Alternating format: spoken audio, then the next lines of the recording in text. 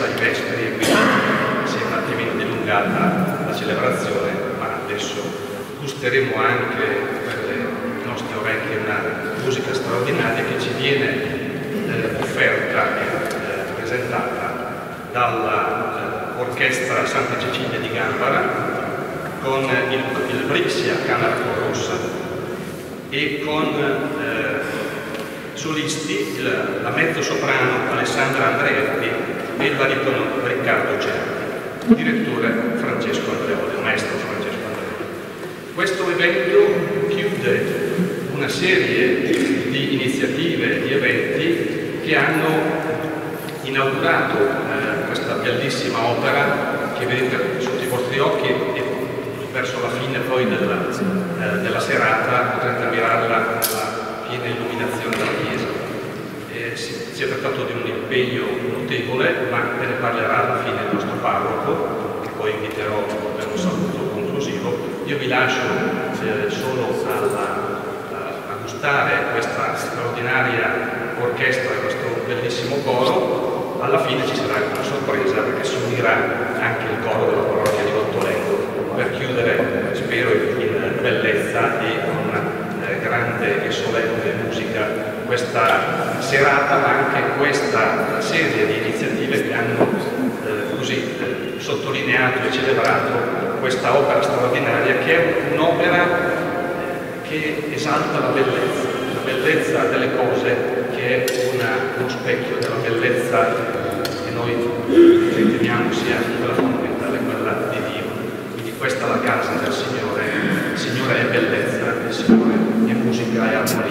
e lo, e la, lo celebriamo degnamente anche con questa serata musicale. Quindi a tutti buon ascolto, invito il maestro Andreoli e buon ascolto a tutti, grazie.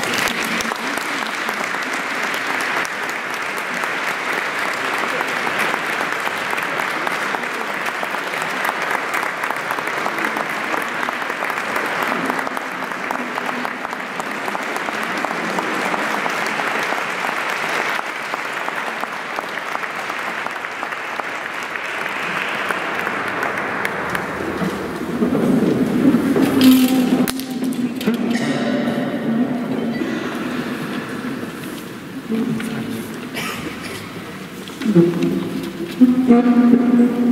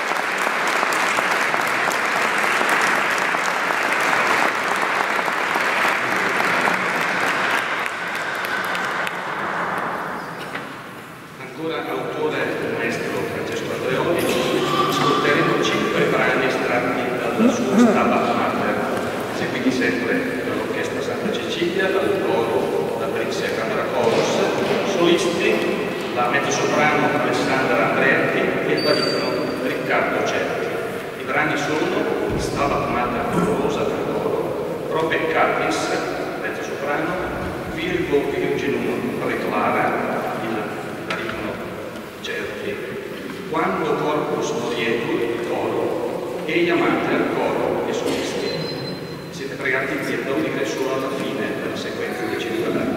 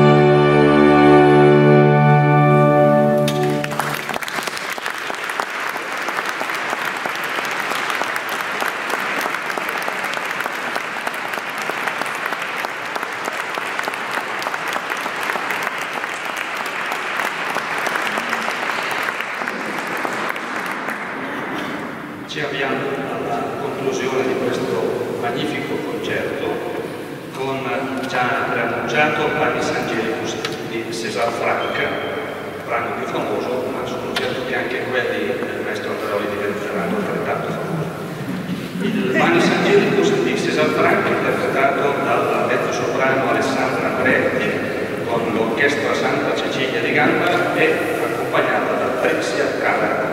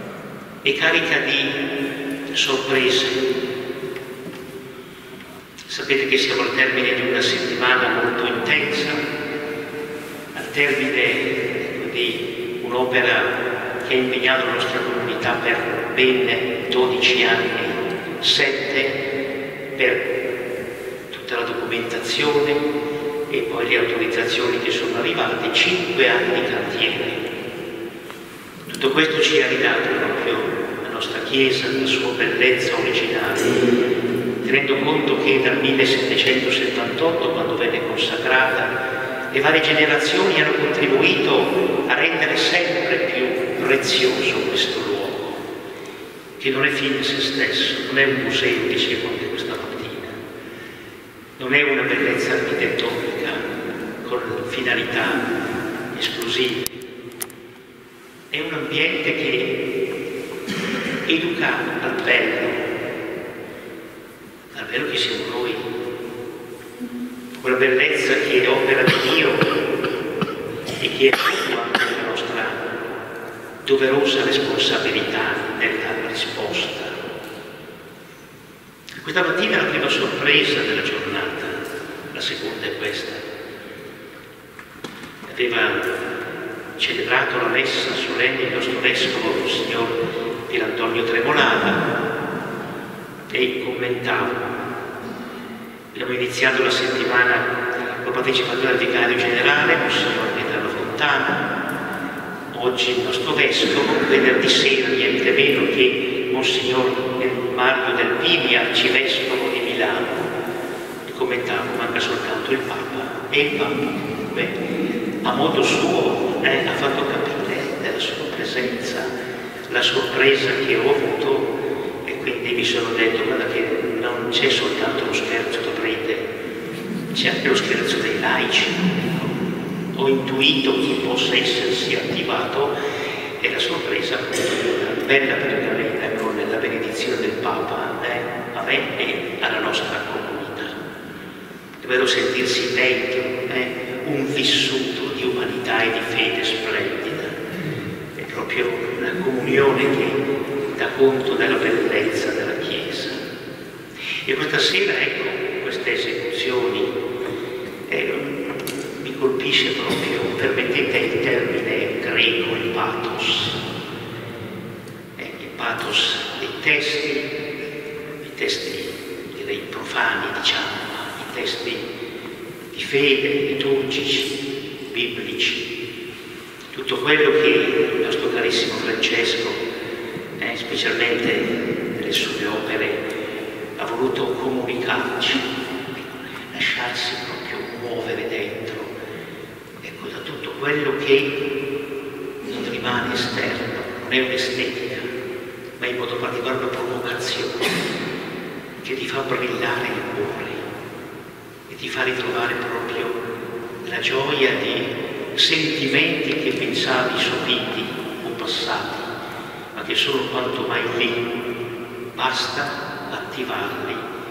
con l'aiuto di altri oppure attraverso i propri carismi personali.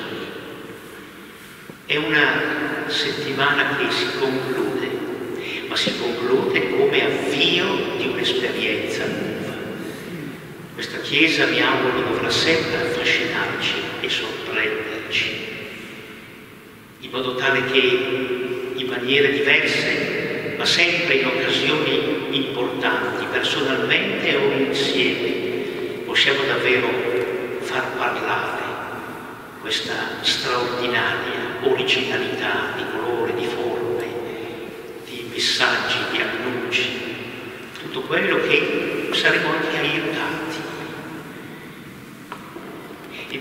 programma della settimana si conclude, ma le opportunità non mancheranno tanto domani. Ad esempio, domani pomeriggio, per chi volesse, è già programmata una visita guidata. Altre potranno essere offerte secondo anche le richieste personali. Visite gratuite, eh? quindi eh, non preoccupatevi. Eh? Anche perché anche a livelli diversi no? di, di posizioni potremo andare a scoprire oltre il, quanto si possa vedere adesso, proprio per gustare la maestria che ha guidato e la fede che ha sostenuto eh, le generazioni che ci hanno preceduto. Documentazione che verrà a breve pubblicato un eh, volume che, che, riguarda proprio eh, questa bellezza ritrovata attraverso una ricerca appassionata, veramente puntuale della nostra Cara Peglia Milzani. Proprio grazie a lei potremo anche tenere nelle nostre case questo documento come un riferimento prezioso per essere anche frutto di ulteriori ricerche e approfondimenti. E tanto per concludere, ecco la sorpresa che mi auguro possa essere anche effettuata, in fondo c'è un bel gesto grande, eh? sorprendentemente vederlo popolato eh? e non solo del vero fondo ma anche nelle sue altezze come vedete la chiesa adesso è inutilmente illuminata grazie ancora grazie di cuore e buona continuazione a tutti